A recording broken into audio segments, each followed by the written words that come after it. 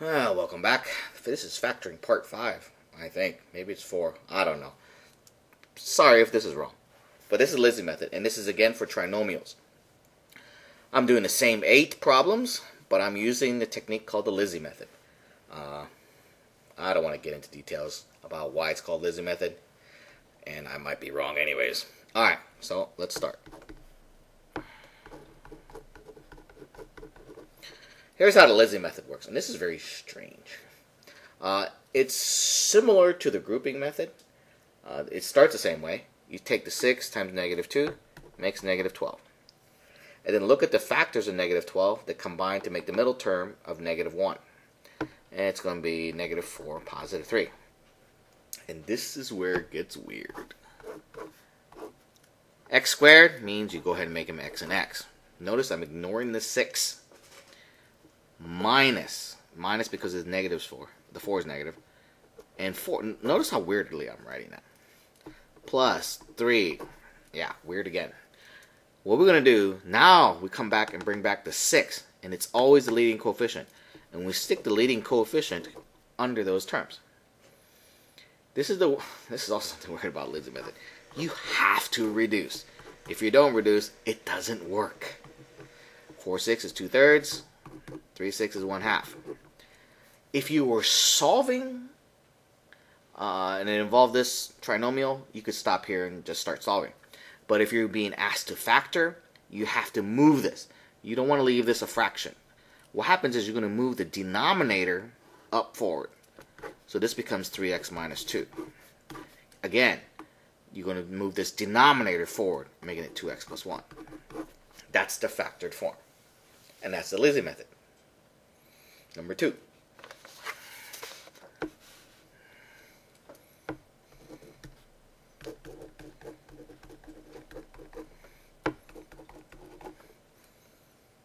Okay, multiply 10 times 15, 150.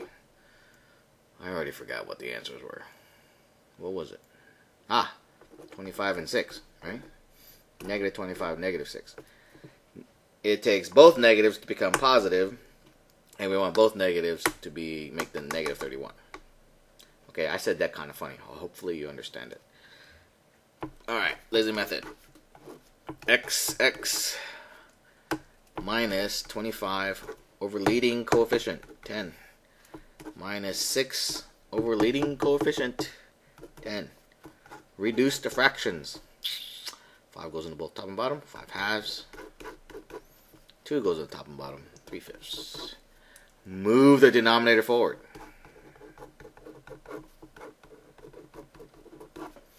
There we go. That's number two.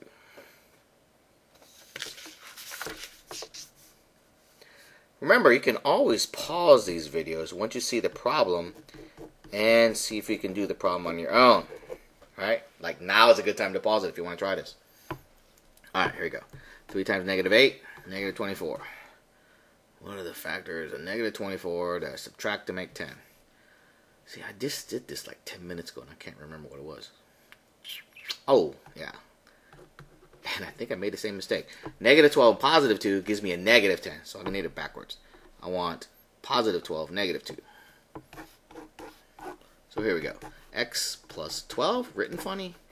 x minus 2, 2 written funny. Don't forget the leading coefficient. It goes under both of them reduce. That one, the second binomial doesn't reduce, so I can just rewrite it. There we go. Done. Lizzie method. Number four.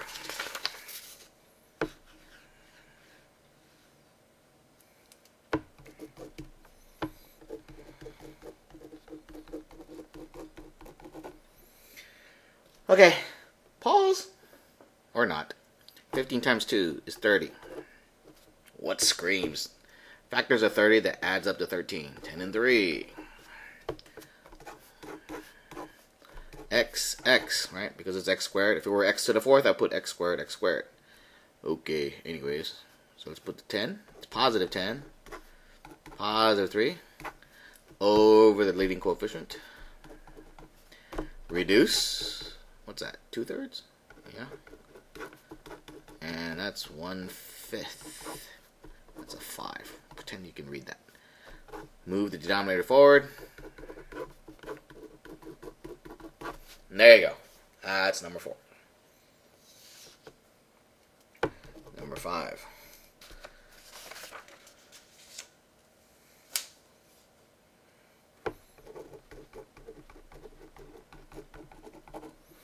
Alright, take the opportunity to try it yourself. Or not. What's 8 times negative 27? I can't remember. Oh, it's negative 216. I actually remembered. What are the factors of negative 216 to make negative 30? By the way, I know I'm just kind of dropping these factors. You have you can take the time yourself. And if you're having problems coming up with the factors to come out negative 30, there's always a really long way to do it. Just start with 1. Well, you know that's too far apart. So we'll go on to 2. That's what, 108? Still too far. 3 3 is probably too far. We'll write it down anyways. What's that? 72? 4 4 go into that? I guess so. 4 goes into that 54 times. Is that right? Is it? Hello? Maybe not. 5 times, 4 times 4 is 16. 5 times 4 is 20. Okay, looks right. 5 doesn't go into it. 6. Oh, 36. Negative 6 plus 36 is 30. So we just want this other way. We want negative 36 and positive 6. Okay. So here we go. X. Remember, we want positive, negative. So it's going to be plus 6 over 8. X. That? Minus 36 over 8. Don't forget to reduce. That's three fourths. What's this one? Four ones in that, four ones in that. Nine halves. So it's 4x plus 3. 2x minus 9.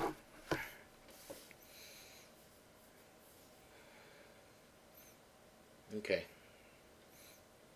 Next, number 6.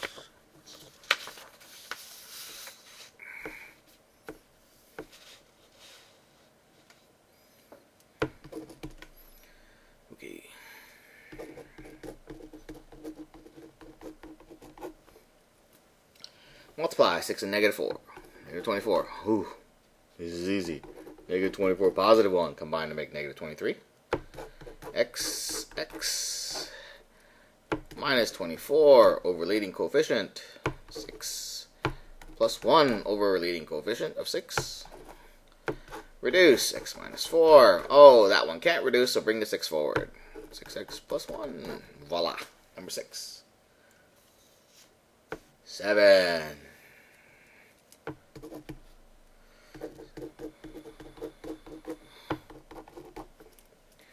Okay, 6 times 8, 6 times 5 is 30. What are the factors of 30? They combine to make negative 11. Well, they have to add to make that, so they're going to both be negative. Negative 6, negative 5 add up negative 11. Oops. It's x, x, minus 6 over the leading coefficient, 6 minus 5 over leading coefficient. Reduce. That doesn't reduce. Bring the 6 forward. That's number seven. Last example.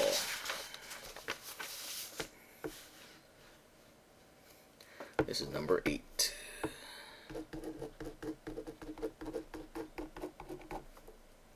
Oh, what's 18 times 15?